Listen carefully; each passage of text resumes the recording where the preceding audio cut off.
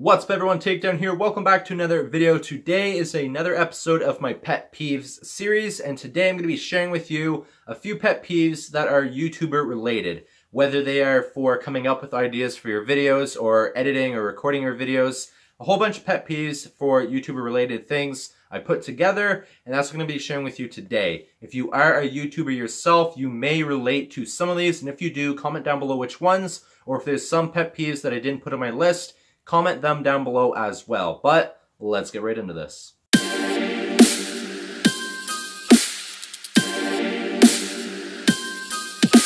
So the first YouTuber pet peeve that I have is when you are working on editing a video and partway through it crashes and you have to start over. This is one of the most frustrating things when it comes to, for me, YouTuber related.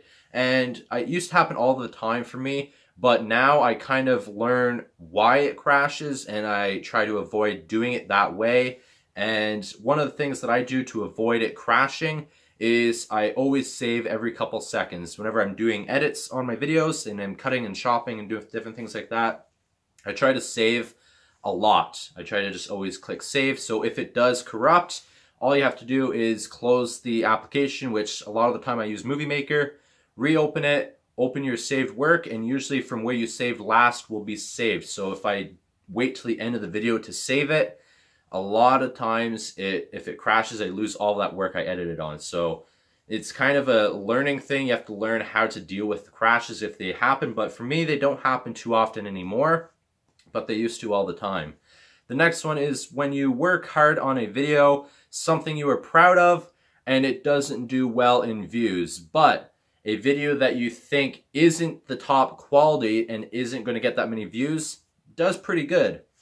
This is something that happens with me a lot of the time, especially when I'm doing uh, different videos and I'm experimenting with different things.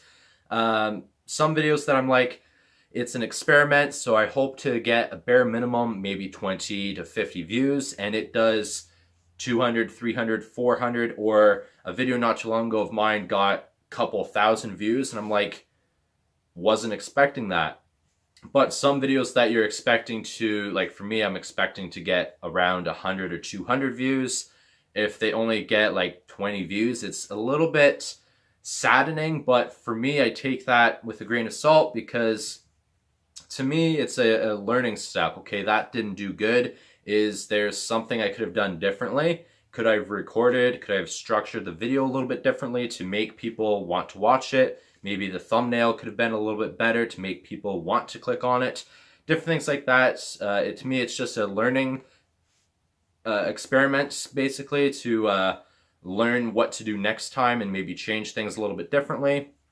The next one is when you want to record videos and have things to record, but you have no time to record them. This happens all the time with me because on my phone, which is what I use to record, I have a note which I always put my ideas and I usually have about 10 to 15 videos in that note folder that I'm ready to record and I'm ready to go do, but I'm sadly only able to record once a week or sometimes not even once a week. Sometimes it's once every two weeks. So anytime that I have to record, I try to record multiple videos in that sitting. I try to do uh, as many videos as I can, but still give the same quality. So it does suck when you have videos to record and no time to record them. Thankfully, I have my truck now, so if there's any video where I'm doing a story time or a prediction video or something like that, I can go and record in my truck. I can just go for a drive, park somewhere, record it.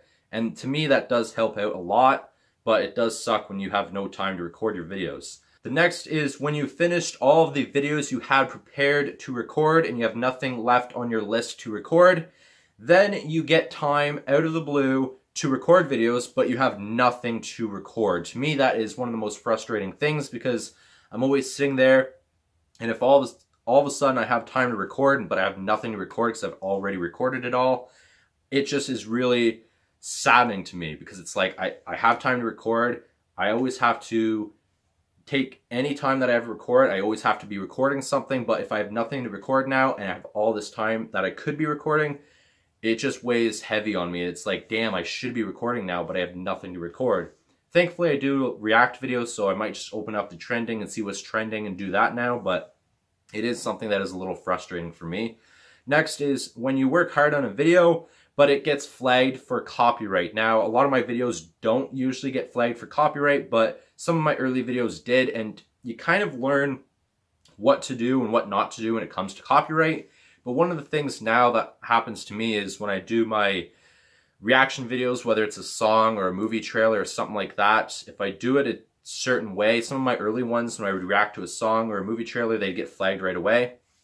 Um, but typically, whenever it comes to copyright, movie trailers at least, uh, the companies will put ads on your videos. Like I don't have ads on my channel right now, but they will put ads on the videos and any money that they make off of the ads goes to them. I don't get a dime of it.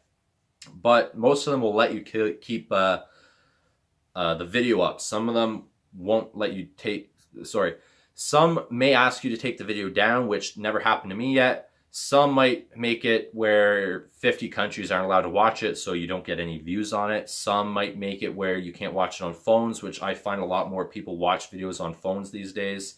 But for me, I don't really have a problem with it. Uh, people that, when my movie trailer ones get flagged, they usually just get any revenue from the ads, which isn't much anyways. So that is one thing though. The next one is when people ask for sub for sub. And whenever I started my channel, a lot of people ask for sub, sub for sub, so I looked into it and found out that it actually harms a lot of channels. It does more harm than good because YouTube, yes, you get all these subscribers, but you get no watch minutes, you get no views, and that doesn't do anything for your channel. And once a year now, YouTube will go and any of the subscribers that just subscribe to you, but they don't um, they aren't active on your channel, they aren't commenting, they aren't watching your videos or anything, there's no watch time from them, they'll just go and take them off your subscriber count anyways. So if you do sub for sub, they eventually will get wiped off your account anyways, so there's no real point for it. I'm against sub for sub, I will never use it.